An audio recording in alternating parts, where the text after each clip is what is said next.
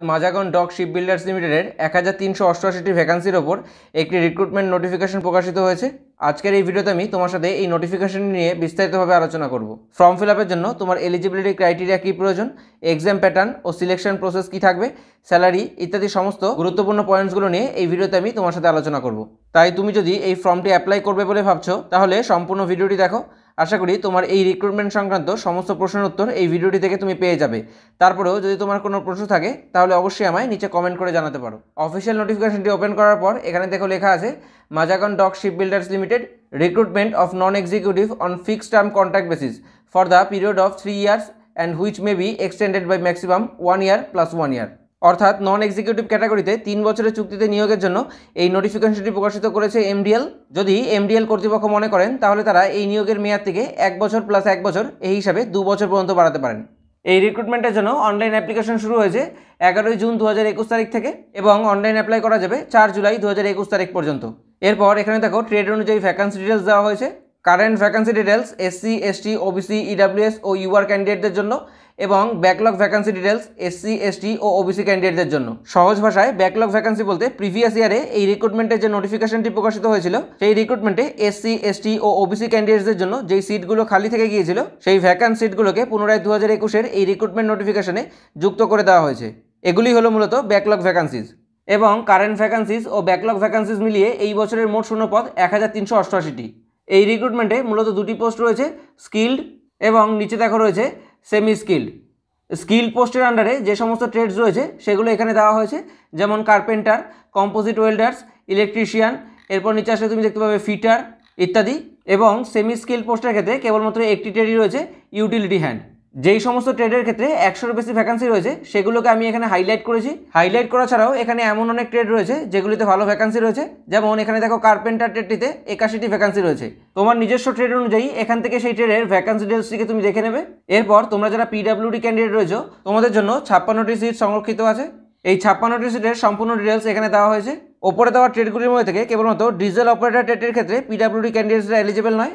এরপর নিচে আসলে তুমি দেখতে পাবে, এখানে লেখা আছে কোয়ালিফাইং রিকোয়ারমেন্টস বা এসেন্সিয়াল কোয়ালিফিকেশনস অ্যান্ড এক্সপিরিয়েন্স এখানে সমস্ত ট্রেড নেম ও সেই ট্রেডের জন্য কি কোয়ালিফিকেশন প্রয়োজন হবে, তার ডিটেলস দেওয়া হয়েছে।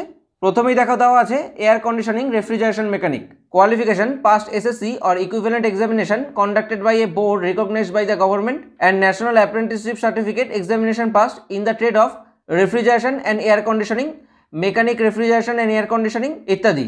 অর্থাৎ তোমায় মাধ্যমিক পরীক্ষা পাশ করে থাকতে হবে এবং তার সাথে এখানে দেওয়া ট্রেডের মধ্যে থেকে যে কোনো একটির ওপর এনএসি অর্থাৎ ন্যাশনাল অ্যাপ্রেন্টিসশিপ সার্টিফিকেট থাকতে হবে। এখানে আমি তোমার সাথে এই নোটিফিকেশনের একটি গুরুত্বপূর্ণ পয়েন্ট নিয়ে আলোচনা করব। যেটা অন্য কোনো ভিডিওতে তোমায় বলবে না। সবাই তোমায় এখানে দেওয়া কোয়ালিফিকেশনটি দেখিয়ে এটাই বলবে যে তুমি মাধ্যমিক পাস, তার সাথে আইটিআই ও অ্যাপ্রেন্টিসশিপ কমপ্লিট করে থাকলেই এই পোস্টের জন্য ফর্ম অ্যাপ্লাই করতে পারবে। কিন্তু আসলে সেটা নয়, তুমি যদি স্ক্রল করে নিচে আসো, তাহলে এখানে দেখবে স্পষ্ট লেখা আছে for all the above post except paramedics and junior draftsman civil candidate should have minimum one year experience in ship building industry অর্থাৎ প্যারামেডিক্স এবং জুনিয়র ড্রাফটসম্যান সিভিল এই দুটি ট্রেড বাদে বাকি সমস্ত ট্রেডের ক্ষেত্রে মাধ্যমিক পাস অ্যাপ্রেন্টিসশিপ সার্টিফিকেট ও যে কোনো শিপ বিল্ডিং ইন্ডাস্ট্রিতে মিনিমাম এক বছরের কাজের অভিজ্ঞতা থাকতে হবে। তাহলেই তুমি ফর্ম অ্যাপ্লাই করতে পারবে। এরপর এয়ার কন্ডিশনিং অ্যান্ড রেফ্রিজারেশন মেকানিকের নিচে দেখো রয়েছে compressor attendant qualification compressor attendant is not a designated trade under apprenticeship act the candidates who have passed SSC and NSC in millwright mechanic or mechanic machine tool maintenance and work in MDL or shipbuilding industry as a compressor attendant for minimum one year may apply for the post of compressor attendant যেহেতু compressor attendant এর উপর apprenticeship হয় না তাই এক্ষেত্রে মাধ্যমিক pass এবং এখানে দেওয়া millwright mechanic or mechanic machine tool maintenance এই দুটি ট্রেডের মধ্যে থেকে যে কোনো একটির ওপর অ্যাপ্রেন্টিস সার্টিফিকেট থাকতে হবে এবং তার সাথে এমডিএল বা অন্য কোনো শিপ বিল্ডিং ইন্ডাস্ট্রিতে কম্প্রেসার অ্যাটেন্ডেন্ট হিসেবে এক বছরের কাজের অভিজ্ঞতা থাকতে হবে। তাহলে তুমি এই পোস্টের জন্য ফর্ম অ্যাপ্লাই করতে পারবে। তুমি যেই ট্রেডের জন্য এলিজিবল এখান থেকে সেই ট্রেডের এসেন্সিয়াল কোয়ালিফিকেশনটি দেখে নেবে এবং এখানে দেওয়া এই কোয়ালিফিকেশনের পাশাপাশি তোমার অবশ্যই শিপ বিল্ডিং ইন্ডাস্ট্রিতে মিনিমাম এক বছরের কাজের অভিজ্ঞতা থাকতে হবে। শিপ বিল্ডিং ইন্ডাস্ট্রিতে কাজের অভিজ্ঞতার উপর ভিত্তি করে এখানে তোমায় নাম্বার দেওয়া হবে। মিনিমাম নাম্বার হচ্ছে টেন এবং ম্যাক্সিমাম নাম্বার হচ্ছে টোয়েন্টি যেমন, এক বছর থেকে দু বছরের মধ্যে কাজের অভিজ্ঞতা থাকলে সেক্ষেত্রে দশ নম্বর দেওয়া হবে। দু বছর থেকে তিন বছরের মধ্যে কাজের অভিজ্ঞতা থাকলে বারো নম্বর দেওয়া হবে। এইভাবে তোমার যদি ছ বছরের বেশি কাজের অভিজ্ঞতা থাকে, সেক্ষেত্রে তোমায় কুড়ি নম্বর দেওয়া হবে। এক্ষেত্রে ফার্স্ট আগস্ট দু হাজার উনিশ পর্যন্ত তোমার ওয়ার্কিং এক্সপিরিয়েন্সটিকে কাউন্ট করা হবে। প্যারামেডিক্স এবং জুনিয়র ড্রাফটম্যান সিভিল এই দুটি পোস্টের ক্ষেত্রে এই নম্বরটি অ্যাপ্লিকেবল নয়। এক্ষেত্রে অনলাইন এক্সাম হবে পঞ্চাশ নম্বরের এবং স্কিল টেস্ট হবে পঞ্চাশ নম্বরের। এরপর এখানে দেখো পে স্কেল দেওয়া হয়েছে। স্কিল গ্রেড ওয়ানের ক্ষেত্রে সতেরো হাজার থেকে চৌষট্টি হাজার তিনশো ষাট টাকা এবং সেমি স্কিল গ্রেড ওয়ানের ক্ষেত্রে তেরো হাজার দুশো থেকে উনপঞ্চাশ হাজার নশো দশ টাকা। এরপর এই রিক্রুটমেন্টের ক্ষেত্রে এজ লিমিট দেওয়া হয়েছে ম্যাক্সিমাম আটত্রিশ বছর এবং মিনিমাম আঠেরো বছর ফার্স্ট জুন দু হাজার একুশ অনুযায়ী। এজ রিল্যাক্সেশন রয়েছে ওবিসি এনসিএল ক্যান্ডিডেটদের ক্ষেত্রে তিন বছর এসসি এসটি ক্যান্ডিডেটদের ক্ষেত্রে পাঁচ বছর পিডাব্লিউডি ক্যান্ডিডেটদের মধ্যে যারা জেনারেল তাদের ক্ষেত্রে দশ বছর ওবিসি এনসিএলের ক্ষেত্রে তেরো বছর এবং এসসি এসটিদের ক্ষেত্রে পনেরো বছর। এরপর এখানে দেখো সিলেকশন প্রসেস দেওয়া হয়েছে। The candidates will be called for written test based on the information provided by them online অর্থাৎ তোমার অনলাইন আবেদনের উপর ভিত্তি করে প্রথমে রিটেন টেস্টের জন্য তোমায় ডাকা হবে। এরপর based on the performance of written test and experience marks the candidates would be called for trade test এরপর রিটেন টেস্টের নাম্বার এবং এক্সপিরিয়েন্সের নাম্বার উপর ভিত্তি করে তোমার ট্রেড টেস্টের জন্য ডাকা হবে। The final merit list would be prepared based on combined marks of online written test experience and trade test অর্থাৎ ফাইনাল মেরিট লিস্টটি তৈরি হবে। তোমার অনলাইন রিটেন টেস্টের প্রাপ্ত নম্বর এক্সপিরিয়েন্স মার্কস এবং ট্রেড টেস্টের প্রাপ্ত নম্বরের উপর ভিত্তি করে। এরপর এখানে দেখো পার্সেন্টেজ হিসাবে নাম্বার দেওয়া হয়েছে। অর্থাৎ রিটেন টেস্টের ক্ষেত্রে থাকবে তিরিশ number thirty percent experience in ship building ইন্ডাস্ট্রির ক্ষেত্রে থাকবে টোয়েন্টি পার্সেন্ট অর্থাৎ কুড়ি নম্বর ট্রেড টেস্টের ক্ষেত্রে থাকবে ফিফটি পার্সেন্ট অর্থাৎ পঞ্চাশ নম্বর এরপর নিচে আসলে তুমি দেখতে পাবে এখানে অ্যাপ্লিকেশান ফি ডিটেলস দেওয়া হয়েছে। তোমাদের মধ্যে যারা জেনারেল ওবিসি এবং ইডাব্লিউএস ক্যান্ডিডেট রয়েছে, এই ফর্মটি ফিল করার ক্ষেত্রে তোমাদের একশো টাকা পেমেন্ট করতে হবে এবং তোমরা যারা এসসি এসটি পিডাব্লিউডি এবং এক্স সার্টিফিকেশন ক্যান্ডিডেট রয়েছে, তোমাদের ক্ষেত্রে এই ফর্ম ফিল জন্য কোনো প্রকার ফিস পেমেন্ট করতে হবে না।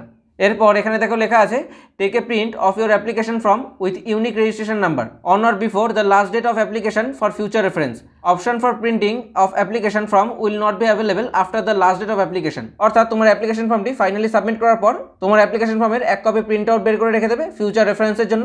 এক্ষেত্রে অ্যাপ্লিকেশন ফর্মের লাস্ট ডেট পার হয়ে গেলে তোমার অ্যাপ্লিকেশন ফর্মটিকে প্রিন্ট করার অপশনটি তুমি আর পাবে না। তাই অবশ্যই লাস্ট ডেটের আগে তোমার অ্যাপ্লিকেশন ফর্মের এক কপি প্রিন্ট আউট বার করে তোমার কাছে রেখে দেবে। এছাড়া এই রিক্রুটমেন্ট রিলেটেড তোমার যদি কোনো প্রকার কোয়ারিজ থাকে বা এই নোটিফিকেশনের অন্য যে কোনো বিষয়ে তোমার যদি কিছু জানার থাকে, সেক্ষেত্রে এখানে দেওয়া এই নাম্বারে তুমি ফোন করতে পারো অথবা মেল করতে পারো। আমি এই নোটিফিকেশনের সমস্ত গুরুত্বপূর্ণ পয়েন্টসগুলোকে হাইলাইট এবং আন্ডারলাইন করে দিয়েছি এবং চেষ্টা করেছি তার মধ্যে থেকে বেশিরভাগগুলোই তোমার সাথে আলোচনা করতে। ভিডিও ডেসক্রিপশনে আমি পিডিএফের লিঙ্কটি দিয়ে দিয়েছি। তুমি সেখান থেকে পিডিএফটিকে ডাউনলোড করে নোটিফিকেশনের সমস্ত গুরুত্বপূর্ণ পয়েন্টসগুলোকে পড়ে দেখতে পারো। আশা করি ভিডিওটি তোমার কাছে হেল্পফুল হবে। ভিডিওটি ভালো লাগলে অবশ্যই লাইক করো শেয়ার করো এবং এই চ্যানেলে নতুন হলে অবশ্যই চ্যানেলটিকে সাবস্ক্রাইব করো। কারণ এইরকম নানা ধরনের ইনফরমেটিভ ভিডিও এই চ্যানেলের মাধ্যমে আমি নিয়মিত তোমার সাথে শেয়ার করে থাকি।